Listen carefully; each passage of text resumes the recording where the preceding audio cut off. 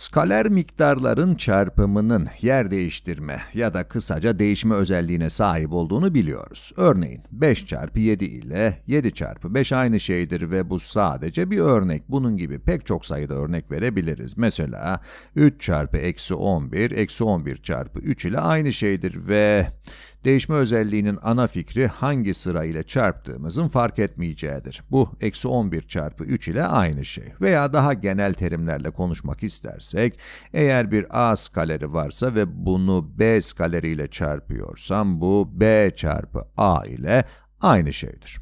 Peki, bu videoda yapmak istediğim şey bu değişme özelliğinin skalerlerin çarpımındaki yer değiştirme özelliğinin matrislerin çarpımı içinde benzer bir şekilde geçerli olup olmadığına bakmak.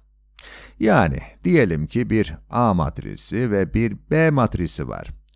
Bu çarpımın sonuç matrisinin B matrisi ile A matrisinin çarpımı ile her zaman aynı olup olmadığını düşünmek istiyoruz. Sadece yerlerini değiştiriyoruz.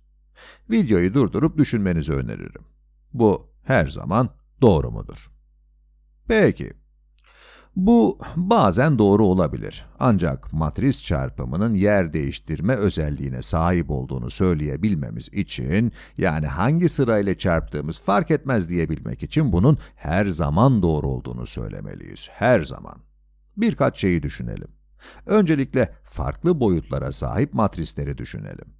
Diyelim ki burada bir matrisimiz olsun. A matrisi. Ne bileyim diyelim ki 5'e 2 bir matris olsun. 5'e 2 bir matris ve B matrisi de 2'ye 3 bir matris olsun. A çarpı B çarpım matrisinin boyutu ne olacak? Eğer bunların ikisini çarparsam üçüncü bir matris elde edeceğim öyle değil mi? Şimdilik bunu da C matrisi olarak adlandıralım. C kaça kaç bir matris olacak?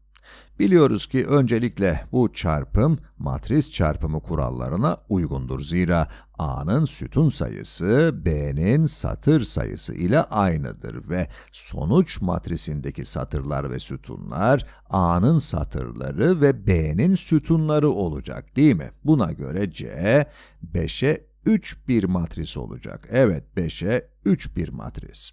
Peki ya diğer türlü olsaydı? Bir kez daha videoyu durdurup düşünmenizi öneririm. Peki eğer b çarpı bunu kopyalayıp yapıştırayım a çarpımını yapıyor olsaydınız yani aslında sadece çarpmadaki sırayı değiştiriyorum. Evet şimdi evet yapıştırdım tamam. Eğer bunları çarparsak bu neye eşit olacak? Bu nedir? Buradaki neye eşit? Birinci soru şu, bu iki matris için çarpma işlemi tanımlı mıdır? B'deki sütun sayısına ve A'daki satır sayısına baktığınızda tanımlı olmadığını hemen görürsünüz. B'nin sütun sayısı ile A'nın satır sayısının farklı olduğunu görüyorsunuz. Burada çarpım tanımlı değildir. Evet, tanımlı değildir ve bu, bunun daima doğru olmayacağını gösteren önemli bir ipucudur. Burada a çarpı b tanımlıdır ve 5'e 3 bir matristir öyle değil mi? Buradaki b çarpı a ise tanımlı bile değildir değil mi? Evet. Bunun geçerli olmadığını görüyoruz. Matrisleri çarparken sıralamanın önemli olduğunu söylüyor bu örnek bize. Konuyu biraz daha sağlamlaştırmak için şimdi bir de şöyle bakalım. Belki bu sadece çarpımlardan biri tanımlı olmadığında geçerli değildir. Ancak belki bir şekilde iki yönlü çarpımı da tanımlı olan matrisler için geçerli olabilir diye düşünebiliriz öyle değil mi? Şimdi 2'ye 2 matrislerle bir örnek yapalım ve sıranın önemli olup olmadığını görelim. Diyelim ki bir matrisim var. Diyelim ki matrisim 1, 2, eksi 3, eksi 4 ve bunu şu matrisle çarpmak istiyorum. Bunu eksi 2, 0, 0, eksi 3 matrisi ile çarpacağım. Sonuç ne olacaktır?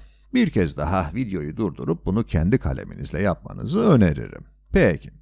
Bunu şimdiye kadar pek çok kez yaptık. Buradaki ilk giriş için bu satıra ve bu sütuna bakacağız öyle değil mi? Yani bu 1 çarpı eksi 2'dir. Yani eksi 2 artı 2 çarpı 0 bu eksi 2 olacak. Şimdi bu giriş için bu satıra ve bu sütuna bakacağız. 1 çarpı 0 sıfırdır artı 2 çarpı eksi 3 eksi 6'dır. Ve daha sonra bu giriş için şimdi bu satıra ve bu sütuna bakacağız.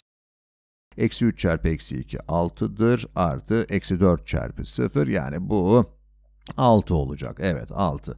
Ve son olarak bu giriş için ikinci satır çarpı ikinci sütuna bakacağız. Eksi 3 çarpı 0 sıfırdır. Eksi 4 çarpı eksi 3 artı 12'dir. Tamamız. Peki. Eğer ya bunu diğer türlü yapsaydık. Ya eğer eksi 2 0 0 eksi 3'ü 1, 2, eksi 3, eksi 4 matrisiyle çarpsaydık, bu neye eşit olacaktı? Her zamanki gibi videoyu durdurarak bunu kendi kaleminizle çözmeye çalışmanız son derece iyi bir fikir. Şimdi bunu beraber düşünelim. Eksi 2 çarpı 1 eksi 2'dir artı 0 çarpı eksi 3 yani bu eksi 2 olacak. Şimdiye kadar oldukça iyi görünüyor. Ve daha sonra eksi 2 çarpı 2 eksi 4'tür artı 0 çarpı eksi 4 bu eksi 4'tür. Şu an bu iki şeyin birbirine eşit olmayacağını artık görüyoruz. Ancak tamamlama duygusunu yaşayabilmek için biz gene devam edelim. Buradaki giriş İkinci satır birinci sütun olacak değil mi? 0 çarpı 1 artı eksi 3 çarpı eksi 3 bu 9'dur. Bir kez daha aynı değiller ve son olarak 0 çarpı 2 0 artı eksi 3 çarpı eksi 4 artı 12'dir. Bu diğeriyle aynı oldu ancak görüyoruz ki bu iki çarpım sonuç olarak aynı şey değil. Hangi sırada çarparsanız çarpın yani sarı olan çarpı mor olan veya mor olan çarpı sarı olan bunların her ikisi de tanımlı ancak çarpımlarının aynı olmadığını görüyoruz. Bir kez daha matris çarpımının yer değiştirme özelliğine sahip olmadığını gösteren bir sonuç görüyoruz.